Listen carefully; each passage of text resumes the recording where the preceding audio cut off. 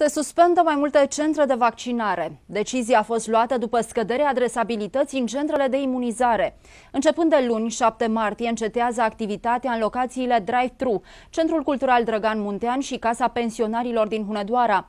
Zilele trecute și centrele de vaccinare de la Hațec și Brad și-au încetat activitatea.